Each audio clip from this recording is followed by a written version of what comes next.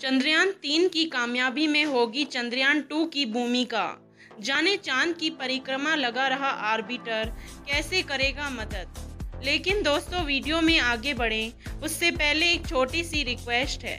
Video को like करें। Channel को सब्सक्राइब कर बेल आइकन दबा दें, ताकि देश विदेश की जानकारी आपको मिलती रहे। चंद्रयान तीन मिशन की कामयाबी में चंद्रयान दो की अहम भूमिका होगी। इसरो के एक शीर्ष वैज्ञानिक ने बताया कि चंद्रयान तीन में आर्बिटर नहीं होगा और चंद्रयान दो के आर्बिटर से ही लैंडर और रोवर को जोड़ दिया जाएगा। आर्बिटर से आंकड़े इसरो को प्राप्त होंगे। चंद्रयान दो का आर्बिटर अभी चाँद की परिक्रमा कर रहा है। इसरो ने इस साल के आखिरी या अगले साल के शुरू में चंद्रयान तीन लॉन्च करने का ऐलान किया है।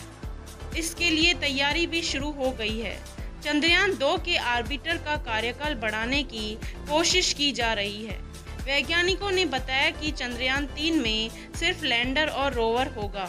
लैंडर को सीधे चाँद पर उतारा जाएगा, जबकि चंद्रयान दो में आर्बिटर और लैंडर अलग हुए हैं और चाँद पर उतरते समय लैंडर क्रैश हो गया। इसलिए चंद्रयान तीन की योजना में बदलाव किया गया है, जिसका ऐलान कर चुका है। इसरो के अनुसार, चंद्रयान दो में आर्बिटर और लैंडर का कार्य अलग अलग था। इनमें पेलोड भी अलग अलग थे। यदि लैंडर चाँद की सतह पर उतर जाता तो उससे रोवर अलग होता और रोवर चाँद पर चलकर आंकड़े एकत्र करता। ये आंकड़े आर्बिटर के ज़रिए इसरो के पास पहुँचने थे।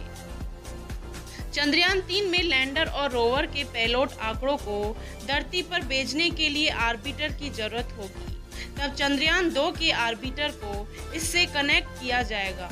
इसरो वैज्ञानिकों ने कहा कि चुनौतीपूर्ण है, लेकिन इस पर कार्य शुरू कर दिया गया है। सबसे पहले हम यह सुनिश्चित करेंगे कि आर्बिटर के कार्यकाल को बढ़ाया जाए।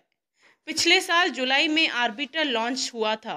तब इसका कार्यकाल एक वर्ष निर्धारित था, पर अब इसे तीन साल तक बढ़ाना ज़रूरी है।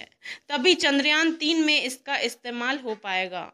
अभी आर्बिटर के उपकरण सही कार्य कर रहे हैं। व प्रोग्रामिंग में कुछ तब्दीलियाँ करके इसमें बदलाव किया जाएगा। यदि आर्बिटर के उपकरण में खराबी नहीं आई तो इसे तीन वर्ष तक इस्तेमाल करने में कोई दिक्कत नहीं आएगी। तो दोस्तों, जानकारी अच्छी लगी हो तो चैनल को सब्सक्राइब ज़रूर करें। धन्यवाद।